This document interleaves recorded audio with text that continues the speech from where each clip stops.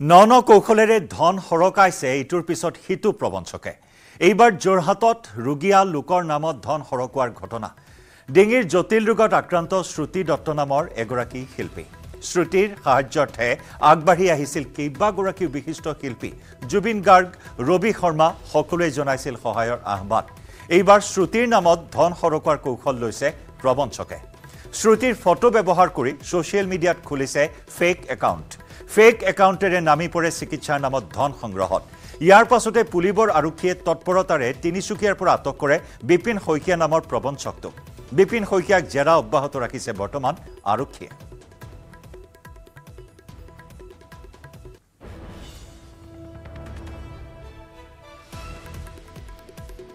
দীপ্তি শইকীয়া নামেৰে দি পেলাই তেখেতে মোক এজন কিডনী পেচেণ্ট বুলি কয় তেওঁ পইচা হেৰি কৰি আছে তেওঁ পইচা মানুহৰ পৰা কালেক্ট কৰি আছে। আৰু তেখেতে মোৰ ঘৰটো গোলাঘাটত বুলি জনাইছে। কিন্তু মোৰ ঘৰ গোলাঘাটত নহয় যিহেতু। তো প্ৰথম পাওঁতে মই ধৰিব পৰা নাছিলোঁ যে সঁচাকৈ তেখেতে মোৰ ফটোখনেই ব্যৱহাৰ কৰিছে নে কি কৰিছে। পিছত যেতিয়া মই গোটেই পষ্টৰ ডিটেইলছটো পালোঁ তাত মই দেখিলোঁ যে পষ্টটো কৰিছিলে তেখেতে প্ৰিয়াংকী শইকীয়াৰ একাউণ্টৰ পৰা। আৰু তাত তেওঁ কিউ কিউ আৰ ক'ড ব্যৱহাৰ কৰিছে দীপ্তি শইকীয়া আৰু মোক তেখেতে শ্ৰুতি দত্তৰ ঠাইত দীপ্তি শইকীয়া বুলি তেখেতে অভিহিত কৰিছে। আৰু তাৰপিছতে মই থানাৰ লগত যোগাযোগ কৰিলোঁ। সকলোৱে মোক জনালে যে থানাত গৈ পেলাই এফ আই আৰ দিয়াটো বহুত জৰুৰী হয়।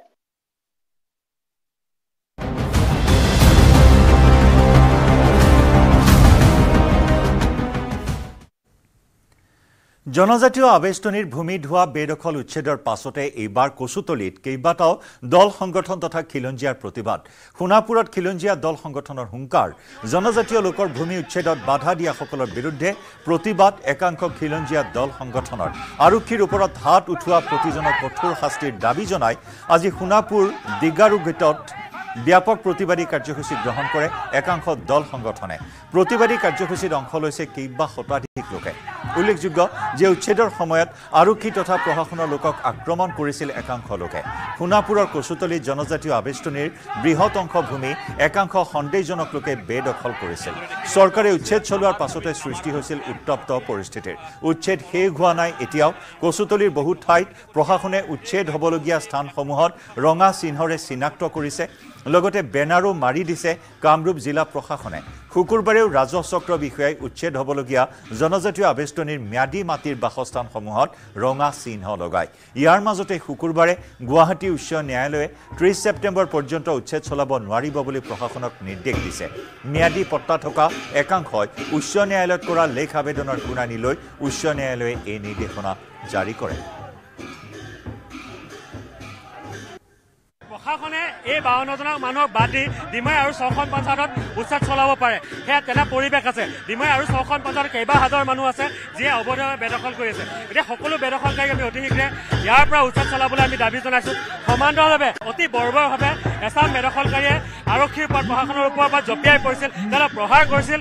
কেইবাজনো প্ৰায় পাঁচজনকৈ আৰক্ষীক তেওঁলোকে আহত কৰিছিলে। গতিকে আমি গোটেই ঘটনাটোক গৰিহণা দিছো। বা বহুখিনি লোক তেনেধৰণৰ সেই গোটেই ঘটনাটোৰ যিসকল লোক জড়িত হৈছিলে বহুতে পলাই আছে। আৰক্ষীয়ে তাৎক্ষণিকভাৱে সেইদিনাখনে ছয় সাতজন মানুহক আটক কৰিছিলে গ্ৰেপ্তাৰ কৰি দিছিলে কিন্তু তাৰপিছত গোটেই বস্তুটোত মানুহবোৰ পলাই থকাৰ কাৰণে তেওঁলোক গ্ৰেপ্তাৰ কৰিব পৰা হোৱা নাই। আমিও ডিমাবাসী ৰাইজ হিচাপে গোটেই ঘটনাটোৰ আমি আৰক্ষীক সহযোগিতা আগবঢ়াই আছো আগবঢ়াই যাম। আমাৰ এটাই দাবী সকলো সন্দেহজনক ব্যক্তি ডিমৰীয়াৰ পৰা আঁতৰি যাব লাগে ডিমৰীয়া সমষ্টিখন সমষ্টিটো আমি কেতিয়াও অবৈধ বিদেশী নাগৰিক আমি চৰণে পঠা হ'ব নিদিওঁ। আমি লাচিতৰ বংশধৰ আমি মোগলসকলক ইয়াৰ পৰা আঁতৰাই পঠিয়ামেই ধুবুৰীৰ মাজেৰ চৰত চাঞ্চল্যকৰ ঘটনা। ভৰিত গুলী লৈ আহত ব্যক্তি উপস্থিত ধুবুৰী থানাত। লোকজনক ততাতৈয়াকৈ চিকিৎসালয়লৈ নিয়ে আৰক্ষী। চৰাই মৰা বন্দুকেৰে গুলী কৰাৰ সন্দেহ লোকজনক। আহত লোকজনৰ নাম শামছুল হক। মহৰ আলী নামৰ এজনৰ বিৰুদ্ধে গুলী চালনাৰ অভিযোগ। সম্প্ৰতি পলাতক অৱস্থাত অভিযুক্ত মহৰ আলী।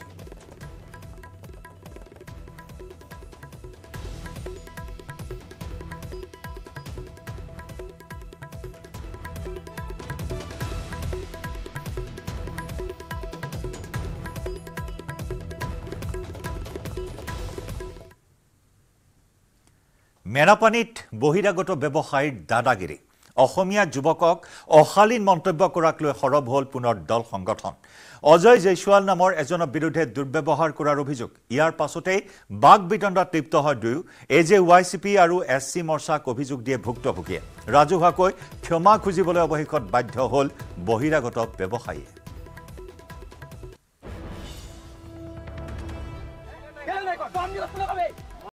দম দি কথা নকবি। মগজে এটা মানুহক মান নাইকিয়া বুলি ক'ব, অকমানি কথা। কি শুনক? কি শুনক? কি শুনক? চিনি- চিনি পাইছে? সৰু ল'ৰা নেকি? সৰু ল'ৰা নহয় দুটা ল'ৰা ছোৱালী বাপেক। গম পাইছে নাই? অসমীয়া ল'ৰা হৈ আপুনি কৈছিলে নাই? অসমীয়া ল'ৰা হয়। আপুনি কৈছিলে নাই মগজত মান নাইকিয়া বুলি কেলে কবি তই ক'ত পাৰি সাহস তই সেইটো নাইকিয়া কথা কবি? নাই কোৱা হে? কেলে নাই কোৱা? দম দি কথা নকবি মই কথা নকবি। কথা নকবি। কেলে মগজত নাই মান নাইকিয়া বুলি কবি শুনি থাকক, শুনি থাকক। ঠিক আছে আপুনি মই সেইটো নকৰোঁ নহয় তেখেতে মোক বস্তুটো দিওঁতে মোক মানে অলপ মগজত ধৰি কথা ক'লে।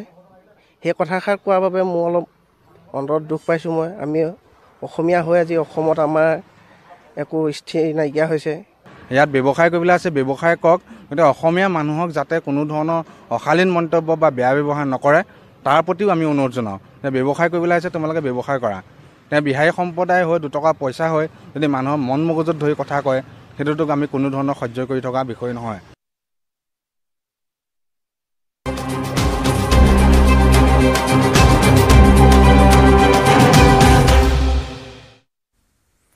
শীতৰ আগমনৰ প্ৰাক ক্ষণতো উৎকট গৰমে দহিছে সমগ্ৰ ৰাজ্য।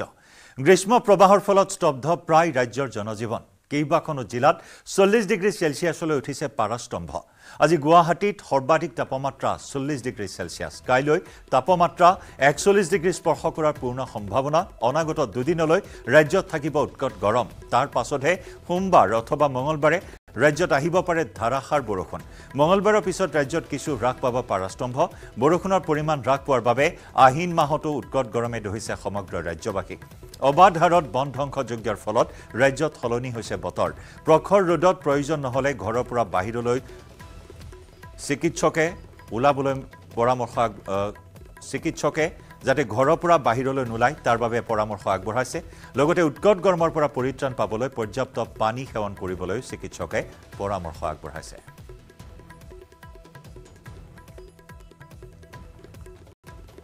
আজিৰ দিনটোত বতৰৰ বতৰা এই মুহূৰ্তত আমি দেখুৱাইছোঁ আপোনালোকক। গুৱাহাটীত সৰ্বোচ্চ চল্লিছ ডিগ্ৰী ধুবুৰীত সৰ্বোচ্চ চল্লিছ ডিগ্ৰী শিলচৰত চল্লিছ ডিগ্ৰী যোৰহাটত সাতত্ৰিছ আৰু ডিব্ৰুগড়ত আঠত্ৰিছ ডিগ্ৰী চেলছিয়াছ।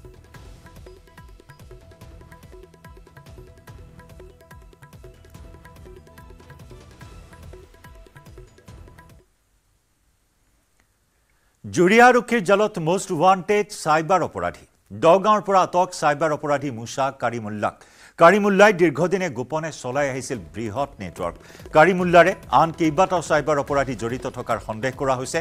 চক্ৰটোৱে কোটি কোটি টকা আত্মসাত কৰাৰ অভিযোগ উত্থাপন হৈছে।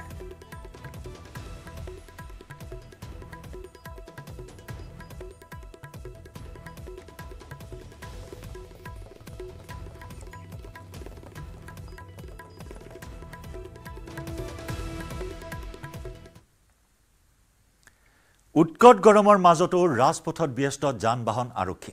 প্ৰখৰ ৰ'দত ব্যস্ত আৰক্ষী বিষয়া কনিষ্টবল গৃহৰক্ষী জোৱানৰ লগতে পথচাৰীৰ মাজত পানী বিতৰণ।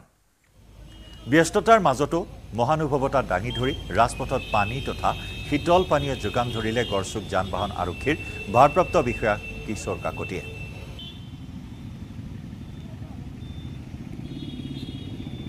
উৎকট গৰম উৎকট গৰমৰ মাজতো নিজৰ দায়িত্বত এনেদৰে দায়িত্ব পালন কৰিছে।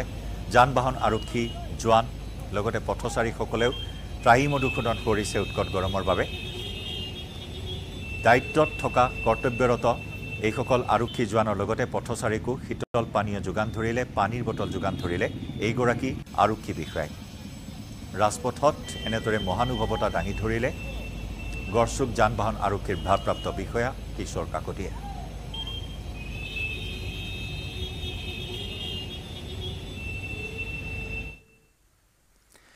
আৰু ইফালে উৎকট গৰমৰ মাজতে শিলচৰত ষষ্ঠীৰ বৰষুণ। তিনিদিনৰ প্ৰচণ্ড গৰমৰ পাছত আজি হোৱা হঠাৎ ধুমুহা বৰষুণৰ ফলত স্বস্তিৰ নিশ্বাস এৰিছে শিলচৰসহ কাছাৰবাসীয়ে। ধুমুহাৰ ফলত জিলাখনৰ বিভিন্ন প্ৰান্তত উভালি পৰে গছ। ৰাজ্যৰ আন আন প্ৰান্ততো গোমা হৈছে বতৰ। এজাক যেন সপোন যেন বৰষুণৰ অপেক্ষাত আছে সমগ্ৰ ৰাজ্যবাসীয়ে। শিলচৰতো এইবাৰ পূৰ্বৰ সকলো অভিলেখ ভংগ কৰি গৰমে দহিছে কাছাৰবাসীক। তাৰ মাজতে আজি কাছাৰত ঠায়ে ঠায়ে আহিছে ধুমুহা বৰষুণ। ধুমুহা বৰষুণে ঠায়ে ঠায়ে ক্ষতি সাধন কৰিছে যদিও সকলোৱে অপেক্ষা কৰি আছিল উৎকট গৰমৰ পৰা পৰিত্ৰাণ পাবলৈ এজাক বৰষুণৰ বাবে আৰু সেই বৰষুণেই যেন কিছু গৰমৰ পৰা সকাহ দিলে কাছাৰবাসীক।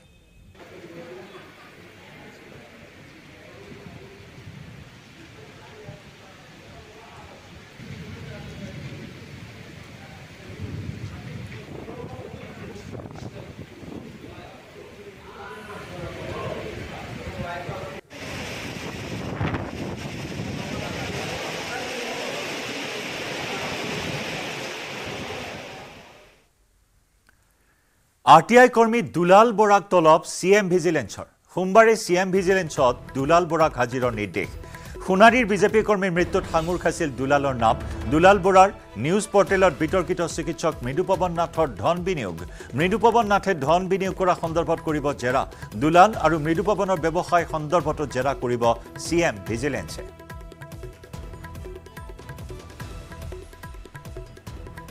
বিভিন্ন বিষয়ত আৰ টি আইৰে বিভিন্ন তথ্য উন্মোচন কৰি বিভিন্ন সময়ত সংবাদ শিৰোনাম দখল কৰিছে দুলাল বৰাই এইবাৰ নিজেই পুনৰ সংবাদ শিৰোনামলৈ আহিছে। সোণাৰীৰ বিজেপি নেতা দেৱজিৎ হাজৰিকাৰ ৰহস্যজনক মৃত্যুৰে জড়িতৰ অভিযোগত দুজনক গ্ৰেপ্তাৰ কৰা হৈছে। শেহতীয়াকৈ দেৱজিৎ হাজৰিকাৰ নোটত উল্লেখ কৰা প্ৰাক্তন খণ্ড উন্নয়ন বিষয়া ৰঞ্জিত বুঢ়াগোহাঁই আৰু এটা পৰ্টেলৰ মহিলা সাংবাদিক পৰিস্মিতা বৈশ্য ফুকনক গ্ৰেপ্তাৰ কৰা হৈছে। আৰু সমান্তৰালকৈ এই সমগ্ৰ ঘটনা সন্দৰ্ভত দুলাল বৰাৰ এই মুহূৰ্তত নাম সন্মুখলৈ আহিছে।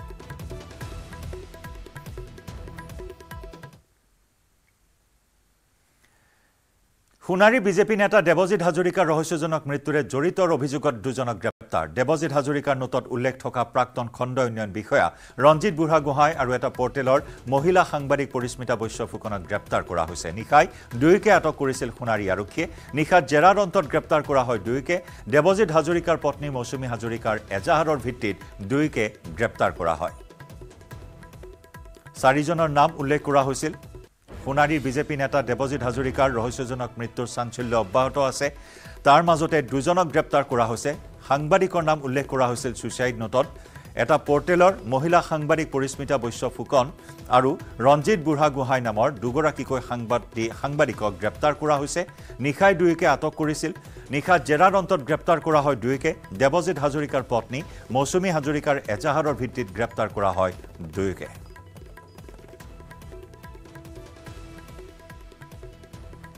দিনৰ পৰা মানসিক চৰ্চা কৰি আছিলে আম,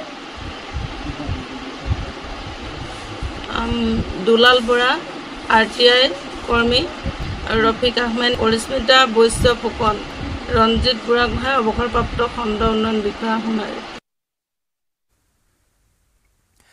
এডিআৰি প্ৰশ্নকাকত ভাইৰেল কাণ্ডৰ আন পাঁচ অভিযুক্তকো জেললৈ প্ৰেৰণ। ফটোগ্ৰাফাৰ মংগল সিং বসুমতাৰী পৰীক্ষাৰ্থী দ্বিজেন বড়োক জেললৈ প্ৰেৰণ কৰা হৈছে। মনোহৰ নাৰ্জাৰী আমেশ ব্ৰহ্ম আৰু দিলীপ দৈমাৰীকো জেললৈ প্ৰেৰণ আদালতৰ। আৰক্ষীৰ জিম্মাৰ ম্যাদ উকলাত আজি পাঁচ অভিযুক্তক হাজিৰ কৰোৱা হৈছিল। জোনাই মহকুমা ন্যায়িক দণ্ডাধীশৰ আদালতত। পূৰ্বে তিনি অভিযুক্তক জেললৈ প্ৰেৰণ কৰিছিল আদালতে। ওঠৰ ছেপ্টেম্বৰত জেললৈ প্ৰেৰণ কৰিছিল কেন্দ্ৰটোৰ। দায়িত্ববাহী বিষয়া বিমল মুছাহাৰী পৰ্যবেক্ষক গোপাল তামলী আৰু এলবাৰ্ট দেউৰীক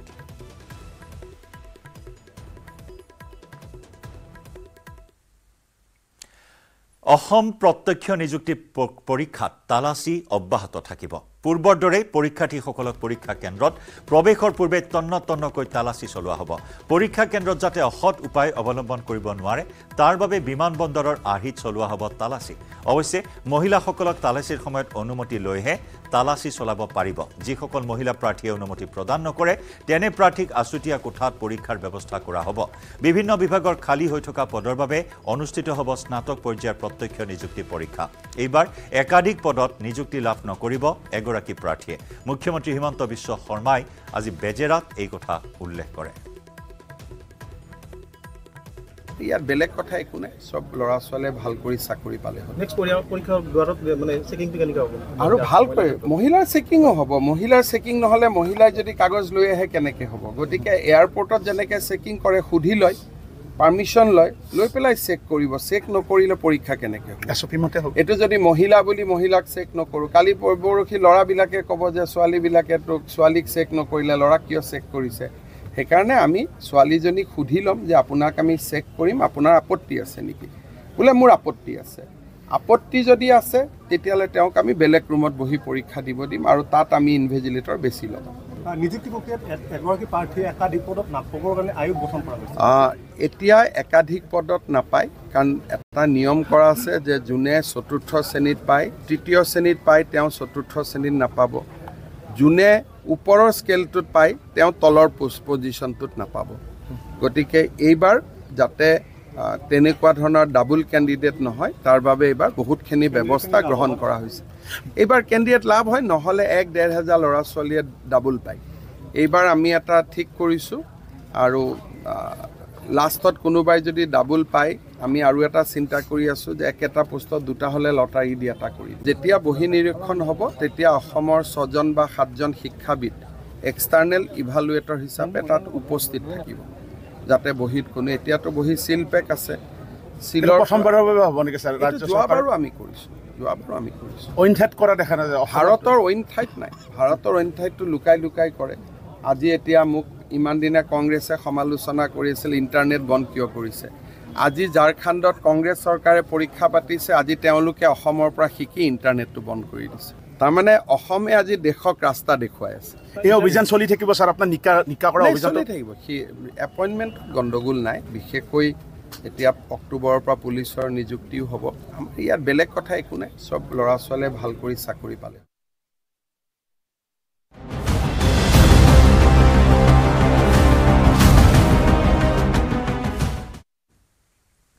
হিজবুল্লাৰ বিৰুদ্ধে ক্ৰমাৎ আক্ৰমণাত্মক হৈ উঠিছে ইজৰাইল। লেবাননৰ ৰাজধানী বেইৰুটত চলোৱা ইজৰাইলৰ বিমান আক্ৰমণত নিহত হৈছে হিজবুল্লাৰ শীৰ্ষ সামৰিক সেনাধ্যক্ষ। ইজৰাইলৰ আক্ৰমণৰ পাছতে হিজবুল্লাই সেনাধ্যক্ষ ইব্ৰাহিম আকিলৰ মৃত্যু নিশ্চিত কৰিছে। ইজৰাইলৰ বিমান আক্ৰমণটোত অতি কমে চৈধ্যজন লোক নিহত হোৱাৰ লগতে বাৰজনতকৈ অধিক লোক আহত হৈছে। দক্ষিণ লেবাননৰ দাহিয়েহ নামৰ ঘন জনবসতিপূৰ্ণ অঞ্চলটোত এই বিমান আক্ৰমণ হৈছিল। নিহত ইব্ৰাহিম আকিল হিজবুল্লাৰ এজন জ্যেষ্ঠ সামৰিক নেতা আছিল। ইজৰাইলৰ বিমান আক্ৰমণৰ পাছতে চহৰখনত হাহাকাৰ পৰিস্থিতিৰ সৃষ্টি হয়। হিজবুল্লাৰ জ্যেষ্ঠ সেনাধ্যক্ষ ইব্ৰাহিম আকিল থকা অট্টালিকাটো সম্পূৰ্ণৰূপে ধ্বংস হোৱাৰ লগতে সমীপৱৰ্তী কেইবাটাও অট্টালিকাৰ বিস্তৰ ক্ষতি হয়। ধ্বংসপ্ৰাপ্ত অট্টালিকাৰ তলত এতিয়াও বহু লোক আবদ্ধ হৈ থকাৰ সন্দেহ কৰা হৈছে। মিলিছিয়া বিদ্ৰোহী গোট হিজবুল্লাৰ বিৰুদ্ধে চলোৱা ইজৰাইলৰ এই আক্ৰমণে গোটটোৰ বৃহৎ ক্ষতি কৰে। এসপ্তাহৰ ভিতৰতে পেজাৰ আৰু ৱাকি টকিৰ জৰিয়তে ইজৰাইলে কৌশলপূৰ্ণভাৱে চলোৱা আক্ৰমণত হিজবুল্লাৰ বহুকেইজন জ্যেষ্ঠ নেতাৰ মৃত্যু হৈছিল। জুলাই মাহৰ পাছত বেইৰুটত চলোৱা শুকুৰবাৰৰ আক্ৰমণটো আছিল ইজৰাইলৰ দ্বিতীয়টো বিধ্বংসী আক্ৰমণ। জুলাই মাহত বেইৰুটত ইজৰাইলে হত্যা কৰিছিল হিজবুল্লাৰ সামৰিক প্ৰধান ফুৱাদ শুক্ৰক ইফালে শুকুৰবাৰৰ আক্ৰমণত হিজবুল্লাৰ দুৰ্ধৰ্ষ ৰাডৱান গোটৰ সেনাধ্যক্ষ ইব্ৰাহিম আকিলৰ লগতে কেইবাজনো কামাণ্ডাৰৰ মৃত্যু হৈছে। মাটিৰ তলত থকা সুৰংগ পথেৰে চলাচল কৰি আছে হিজবুল্লাৰ নেতা সদস্যই। হিজবুল্লাই সাধাৰণ মানুহক মানৱ ঢাল হিচাপে ব্যৱহাৰ কৰি আহিছে হামাছৰ দৰেই। ঊনৈছশ আশী চনত বেইৰুটস্থিত আমেৰিকান দূতাবাস আৰু মেৰিন বেৰেকত চলোৱা আক্ৰমণৰ মূল মাষ্টাৰমাইণ্ড আছিল ইব্ৰাহিম আকিল। আমেৰিকান দূতাবাস আৰু মেৰিন বেৰেকত চলোৱা সেই আক্ৰমণত মৃত্যু হৈছিল দুশৰো অধিক লোকৰ। ইজৰাইল হামাছ যুদ্ধৰ সময়তো হামাছক সহায় কৰি আহিছে হিজবুল্লাই। দক্ষিণ লেবানন সীমান্তৰ পৰা অহৰহ ইজৰাইললৈ লক্ষ্য কৰি হিজবুল্লাই নিক্ষেপ কৰিছিল শতাধিক ৰকেট। যাৰ বাবে ইজৰাইলে হামাছৰ পাছত এইবাৰ হিজবুল্লাৰ বিৰুদ্ধে আৰম্ভ কৰিছে ভয়ংকৰ যুদ্ধ।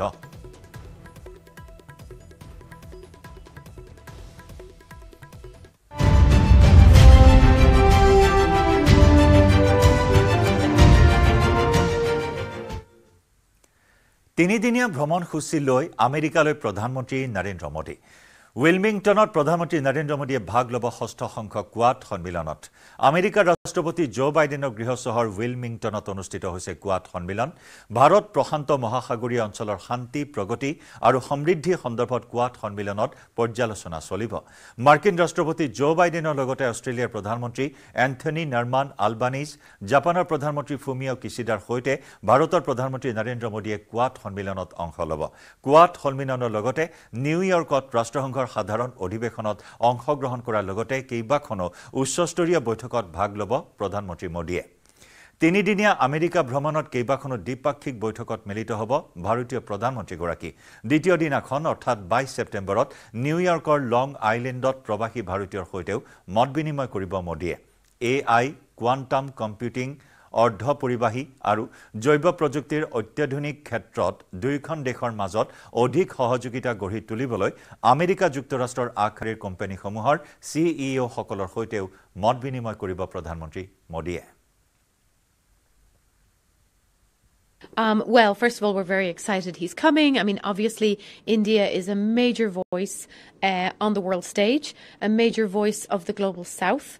Um, and, and one huge purpose of this summit is actually to really try to make sure that international cooperation represents and serves the people of the global south much more effectively than it has been doing so far. So whether that's on Security Council reform and, and looking at, at you know how the Security Council functions or how the international financial architecture functions, India has been a huge voice in pushing for the kinds of change that this summit hopes to deliver. And we're very excited that the Prime Minister is coming and, and will be that voice. গোলাঘাটৰ মৰঙী হালধিবাৰীত জঘন্য ঘটনা। এজন বৃদ্ধৰ কামনাৰ বলি হ'ল এগৰাকী নাবালিকা। গোলাঘাটৰ মৰঙী হালধিবাৰী অঞ্চলৰ বগাই আলী নামৰ পঞ্চাছ বছৰীয়া এই লম্পটজনে এগৰাকী নাবালিকাক ধৰ্ষণৰ চেষ্টা চলায়। নাবালিকাগৰাকীৰ ভাষ্যৰ ভিত্তিত পৰিয়ালৰ লোকে এজাহাৰ দাখিল কৰিছে যদিও এই পৰ্যন্ত অভিযুক্ত বগাই আলীক গ্ৰেপ্তাৰ কৰিবলৈ সক্ষম হোৱা নাই আৰক্ষী। গাঁওৰক্ষী বাহিনীয়ে বিষয়টো আৰক্ষীক অৱগত কৰিছে যদিও পলাতক বগাই আলী এতিয়াও ফাণ্ডত পৰা নাই। এই ঘটনাক লৈ মৰঙীৰ হালধিবাৰীত সৃষ্টি হৈছে প্ৰতিক্ৰিয়াৰ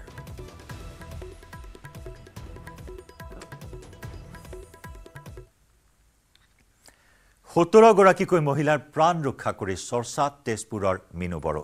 তেজপুৰৰ পৰা মিনু বড়োসহ ওঠৰগৰাকী মহিলা তীৰ্থ ভ্ৰমণৰ বাবে গৈছিল কেদাৰনাথ আৰু বদ্ৰীনাথলৈ।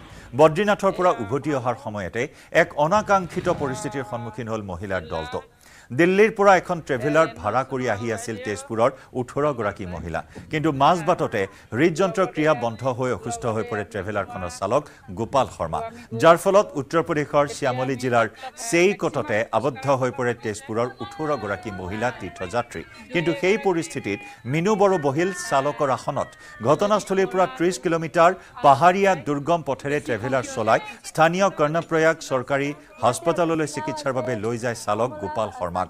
কিন্তু চিকিৎসকে মৃত ঘোষণা কৰে চালক গোপাল শৰ্মাক। কিন্তু মিনু বড়োৱে যি সাহসিকতাৰে ট্ৰেভেলাৰ বাহন চলাই সোতৰগৰাকী মহিলাৰ প্ৰাণ ৰক্ষা কৰিলে সেই ঘটনাই এতিয়া চৰ্চিত হৈছে ৰাষ্ট্ৰীয় পৰ্যায়ৰ সংবাদ মাধ্যমতো। আমাৰ যিজন চালক গাড়ী চালক আছিল তেওঁ হঠাৎ হাত ভৰি কুচাই তেওঁ মুখ বেকেটা কৰিব লওঁতে কি হ'ল বুলি দৌৰি গৈ মই হেণ্ড ব্ৰেগটো ধৰিলোঁ প্ৰথমতে তাৰপিছতে বেগ যিটো ভৰিৰ ব্ৰেক সেইটো ধৰিলোঁ তাৰপিছতে ষ্টাৰ্ট বন্ধ কৰি দিলোঁ তাৰপিছত হৰ্ণ মাৰাৰ পিছত বেলেগ গাড়ী চালকবিলাকে আহিলে তেওঁ কি হ'ল চালে এটা নে দুটা ঝাটকাৰ পিছতে মানুহজনৰ স্তব্ধ হৈ গ'ল। তাৰপিছত মই লগৰ চিটটোতে তেওঁক বহাই দিলোঁ। বহাই দি যিহেতু ট্ৰেফিক জাম হৈ গৈছে গাড়ীখন ওলাই নিনিয়াত সকলোৱে আপত্তি কৰিছে যে এখন গাড়ীৰ কাৰণে গোটেই ট্ৰেফিক জাম হৈছে বুলি। তেতিয়া মই আৰু ড্ৰাইভিং চিটত মই নিজে বহি গাড়ীখন সেই ঠাইৰ পৰা ওলাই আনি যিটো কৰ্ণপ্ৰয়াগ কৰ্ণপ্ৰয়াগ নামৰ যিটো ঠাই তাত এখন চৰকাৰী হস্পিটেলত আনি আমাৰ যিটো চালক চালকক চমজাই দিলোঁ আৰু তেতিয়া গাড়ীত আহি তেওঁলোকে ডক্টৰে চালে যে ইতিমধ্যে তেওঁ মৃত বুলি ঘোষণা কৰিলে ডক্টৰে। সেই ঠাইখিনিলৈ মই ত্ৰিছ কিলোমিটাৰ কমচে কম মই গাড়ীখন লৈ আনিলোঁ। আৰু মোৰ ওঠৰ গৰাকী মহিলাক মই ভাবোঁ যে তেওঁলোকে প্ৰাণ ৰক্ষা কৰিলোঁ বুলি। ইয়াৰে সৈতে খবৰ মহানগৰৰ পৰা বিদায় লৈছোঁ। নমস্কাৰ।